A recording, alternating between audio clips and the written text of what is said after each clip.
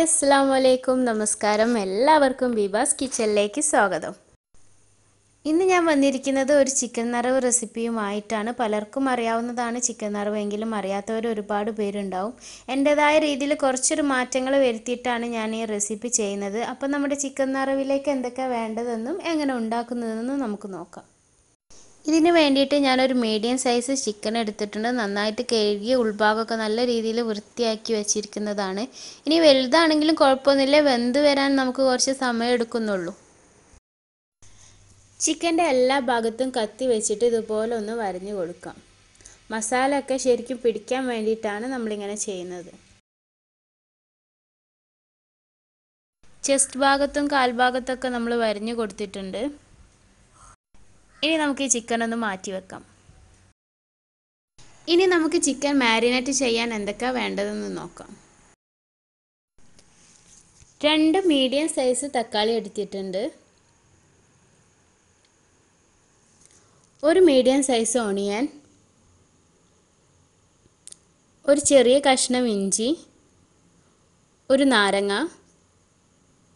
കുറച്ച് വെളുത്തുള്ളി. മൂന്ന് പച്ചമുളക്. കുറച്ച് മല്ലിയില.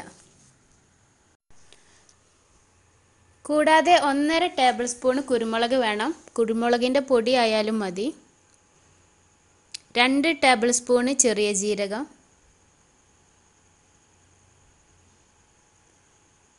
ഒരു ടേബിൾ സ്പൂൺ മഞ്ഞൾപ്പൊടി. ആവശ്യത്തിന് ഉപ്പ്. ചിക്കൻ മാരിനേറ്റ് ചെയ്യാൻ വേണ്ടിയിട്ടുള്ള മസാല റെഡിയാക്കി എടുക്കാം. മിക്സിയുടെ ജാർ എടുത്ത ശേഷം എല്ലാ ഇൻഗ്രീഡിയൻസും നമുക്ക് അതിലേക്ക് ഇട്ട് കൊടുക്കാം.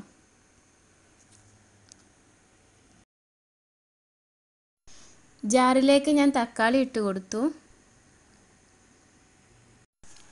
ഓണിയൻ കഷ്ണങ്ങളാക്കി ചേർത്ത് കൊടുക്കാം. കൂടാതെ ഒരു കഷ്ണം ഇഞ്ചി എടുത്തു വെച്ചിരിക്കുന്ന വെളുത്തുള്ളി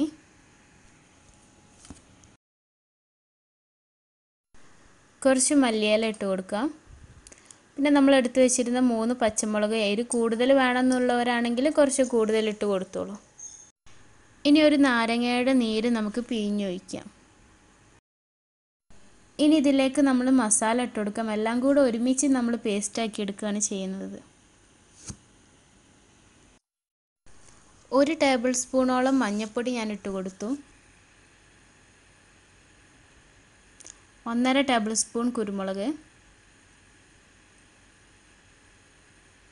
രണ്ട് ടേബിൾ സ്പൂൺ ചെറിയ ജീരകം. ഉപ്പ് നിങ്ങളുടെ ആവശ്യാനുസരണം ചേർത്ത് കൊടുക്കുക. ഞാനിവിടെ മുക്കാൽ ടേബിൾ സ്പൂണോളം ഉപ്പ് എടുക്കുന്നുണ്ട്. മിക്സിയുടെ ജാർ അടച്ച ശേഷം ഈ ഇൻഗ്രീഡിയൻസ് നമുക്ക് നന്നായി ഒന്ന് പേസ്റ്റാക്കി എടുക്കാം. അപ്പോൾ നമ്മുടെ മിക്സ് ഇതുപോലെ പേസ്റ്റാക്കി എടുത്തിട്ടുണ്ട്. ഇനി നിങ്ങൾ ഉപ്പൊക്കെ ഒന്ന് ടേസ്റ്റ് ചെയ്ത് നോക്കുക. ഉപ്പ് പാകത്തിനാക്കി കൊടുക്കുക ഈ സമയത്ത്. ഇനി മിക്സ് നന്നായി തന്നെ ചിക്കന്റെ എല്ലാ ഭാഗത്തേക്കും തേച്ച് യോജിപ്പിച്ച് കൊടുക്കുക. കീറി വെച്ച ഭാഗത്തേക്കൊക്കെ ഉള്ളിലേക്കാവുന്ന രീതിയിൽ ആക്കി കൊടുക്കുക. കൂടാതെ ഉൾഭാഗത്ത് മസാല പുരട്ടി കൊടുക്കുക. തേച്ച് കൊടുക്കുമ്പോൾ എല്ലാ ഭാഗവും നല്ല രീതിയിൽ തന്നെ മസാല കൊണ്ട് കവർ ചെയ്തെടുക്കുക. ചിക്കനിൽ മസാലയൊക്കെ ശരിക്കും തേച്ച് പിടിപ്പിച്ചിട്ടുണ്ട്. ഇനി നിങ്ങൾ ഇത് മിനിമം രണ്ട് മണിക്കൂർ എന്നെങ്കിലും മാറ്റി വെക്കണം. മസാലയൊക്കെ നന്നായിട്ട് പിടിക്കാൻ വേണ്ടിയിട്ടാണ്. ഫ്രിഡ്ജിൽ വെച്ചാൽ മതി എന്തെങ്കിലും പെട്ടെന്നായി കിട്ടും. ഇനി റെഡിയാക്കേണ്ടത് ചിക്കന്റെ ഉള്ളിലേക്ക് നമ്മൾ വെക്കുന്ന ഫില്ലിംഗ് ആണ്. സാധാരണയിൽ നിന്നും വ്യത്യസ്തമായിട്ട് ഞാൻ കുറച്ച് വെജിറ്റബിൾസ് ആണ് ഉള്ളിലേക്ക് വെക്കുന്നത്. ഞാൻ അതിന് വേണ്ടിയിട്ട് കുറച്ച് ക്യാപ്സിക്കം ക്യൂബ്സ് ആയിട്ട് അരിഞ്ഞെടുത്തിട്ടുണ്ട്. അതുപോലെ തന്നെ കുറച്ച് ക്യാബേജ് ഓണിയൻ കഷ്ണങ്ങളാക്കിയത് ക്യാരറ്റ് കുറച്ച് ഗ്രേറ്റ് ചെയ്തെടുത്തത് പിന്നെ ബോയിൽഡ് എഗ്ഗും കുറച്ച് ഉപ്പ് നമുക്ക് ആവശ്യത്തിന്.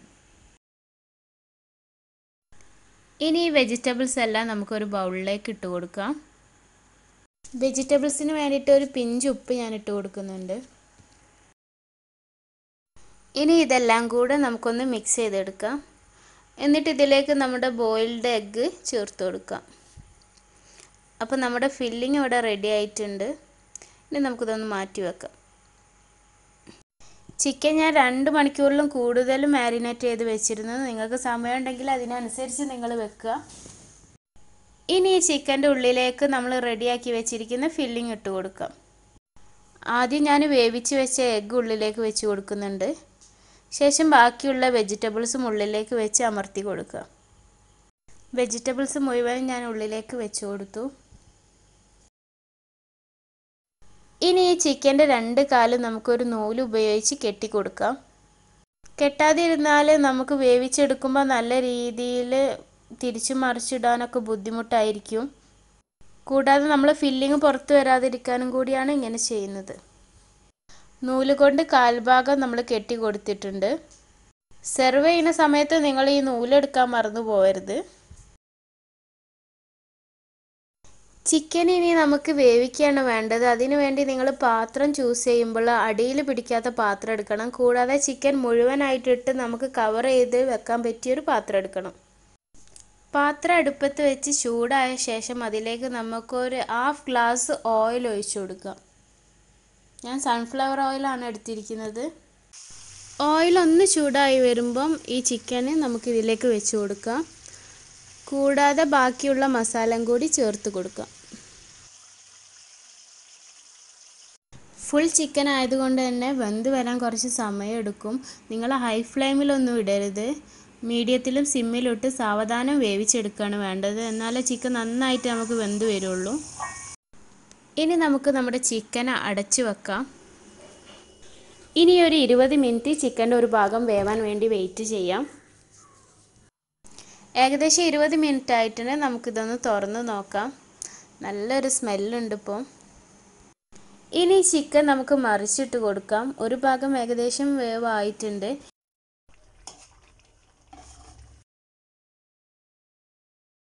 വീണ്ടും ഒരു ഇരുപത് ഇരുപത്തഞ്ച് മിനിറ്റോളം നമുക്ക് വേവിച്ചെടുക്കണം. ചെസ്റ്റ് ഭാഗമൊക്കെ വേവാനുണ്ടാവും. വീണ്ടും അടച്ചു വെച്ച് ഒരു ഇരുപത് ഇരുപത്തഞ്ച് മിനിറ്റോളം നമുക്ക് വെയിറ്റ് ചെയ്യാം. അടപ്പ് നമുക്ക് തുറന്ന് നോക്കാം. ഇരുപത്തഞ്ച് മിനിറ്റ് ആയിട്ടുണ്ട്. ഇനി ഈ ചിക്കൻ ഒന്നും കൂടെ തിരിച്ചിട്ട് ഒരു പത്ത് മിനിറ്റും കൂടി വേവിച്ചെടുക്കാം. ഇപ്പോൾ ഏകദേശം നമ്മുടെ ചിക്കന് ഫുള്ളായിട്ട് വെന്ത് വന്നിട്ടുണ്ട്. ഇനി നമുക്കിതൊരു സെർവിങ് പ്ലേറ്റിലേക്ക് മാറ്റാം. ഒരു ഡിഫറെന്റ് ആയിട്ടുള്ള ടേസ്റ്റാണ് ഈ ചിക്കന് ഞാനൊരു സെർവിങ് പ്ലേറ്റിലേക്ക് ചിക്കന് മാറ്റി കൊടുത്തിട്ടുണ്ട്. ഇനി ബാക്കിയുള്ള ഗ്രേവിയും കൂടി നമുക്കിതിന്റെ മുകളിലേക്ക് ഒഴിച്ചു കൊടുക്കാം.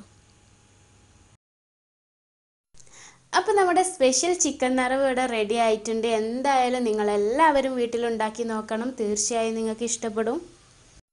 ഇൻഗ്രീഡിയൻസ് ഒക്കെ ഞാൻ ഡിസ്ക്രിപ്ഷൻ ബോക്സിലും കൊടുക്കുന്നുണ്ട്. കൂടാതെ ഞാൻ ഉണ്ടാക്കുന്ന എല്ലാ വിഭവങ്ങളും നിങ്ങൾ വീട്ടിൽ ഉണ്ടാക്കി നോക്കണം. നിങ്ങളുടെ അഭിപ്രായങ്ങളും സംശയങ്ങളും കമന്റ് ബോക്സിലൂടെ അറിയിക്കുക.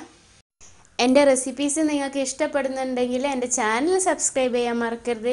കൂടാതെ ബെല്ലൈക്കണം കൂടി ഒന്ന് ക്ലിക്ക് ചെയ്യുക. അപ്പോൾ ഇൻഷാല്ല മറ്റൊരു റെസിപ്പിയായിട്ട് ഞാൻ വീണ്ടും വരാം. അതുവരേക്കും ബൈ